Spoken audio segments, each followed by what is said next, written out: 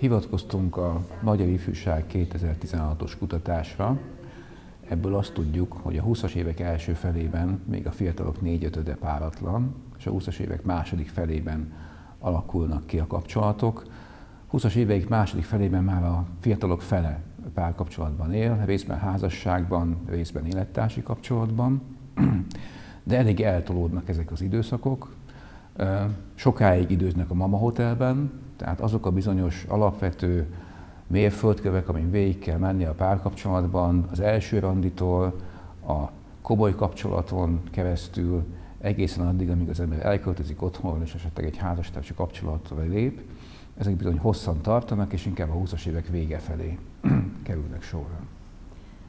Egy olyan ö, időpont, ami ideálisnak nevezhető, tulajdonképpen nincsen, hiszen ismerünk olyan fiatalokat, akik a 20-as éveik elején már biztosan tudták, hogy egymásnak vannak teremtve, és házassági kapcsolatot is létesítettek, és 30 éves korukra akár már 3-4 gyermekkel rendelkeznek. Ez is egy nagyon ö, szép példa, de nem mondható az, hogy ez mindenképpen mindenkinek követendő, hiszen van, aki 30 éven túl találja meg csak az igazit, és onnantól kezd család alapításban. Azt mindenképpen el lehet mondani, hogy az időnek a túlzott tologatása és a túl sok mindennel való bebiztosítás, legyen lakás, legyen autó, legyen munkahely, legyen egzisztencia, tudjunk elmenni, világot látni, és még sorolhatnánk, hogy tulajdonképpen ezeknek se hossza, se vége ezeknek a feltételeknek. Ezek azért kitolhatják olyan, olyannyira az időszakot, amikor már bizony azon kapja magát észre egy fiatal, hogy egyre szűkebb a választási kör, egyre rosszabb a felhozatal, hiszen talán már azok maradtak, akik maguk is bizonytalanabbak, vagy nem tudnak el, elköteleződni, vagy esetleg már több rossz, kapcsolatnak, több rossz kapcsolat van a hátuk mögött.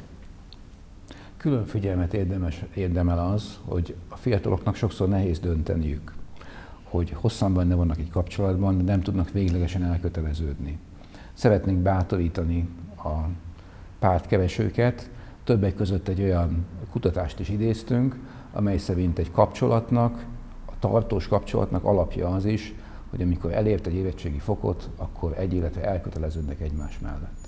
Ez valahol egy ö, ugrás az ismeretlenbe, azt mondhatjuk, de mindenképpen meg kell tenni ezt a lépést, mert hogyha arra várunk, hogy legyen egy olyan biztos pont, vagy égi jel, akkor, akkor lehet, hogy tényleg évtizedekig is várhatunk, és ez nem fog megtörténni, és minél inkább elhúzódik ez az időszak, annál kevésbé fog megtörténni ez a, ez a szoros összetartozás. Ennek egyébként kémiai, biológiai alapjai is vannak, erre így az előadásban nem is tértünk ki, hogy valóban egy, egy tartós elkötelezés, amikor már érzi két ember, hogy a másikban megtalálta azt, akivel le tudná élni az életét, akkor gyakorlatilag egy-két éven belül, hogyha meghozza ezt a döntést, abból lesz egy, egy, egy igazán tartós kapcsolat, vagy abból lehet. Mik azok a szempontok, amelyek segíthetnek a választásban abban, hogy kit válasszunk? Lehetne ezt hosszan sorolni. Hát lehetne beszélni arról, hogy hogy a, ahhoz a vágyott önmagamhoz közelebb vissza a másik, és én közelebb viszem-e őt. Meg tudom-e valósítani mellette a céljaimat, vagy gátol benne, és én tudok-e neki segíteni, hogy megvalósítsa a céljait. Az értékrendemet meg tudom-e őrizni, az alapelveimen változtatni kell De ezeket úgy lehetne igazából összefoglalni, ahogy a házasság hetének az idei elmondata mondja, ami úgy szól, hogy veled kiteljesedve.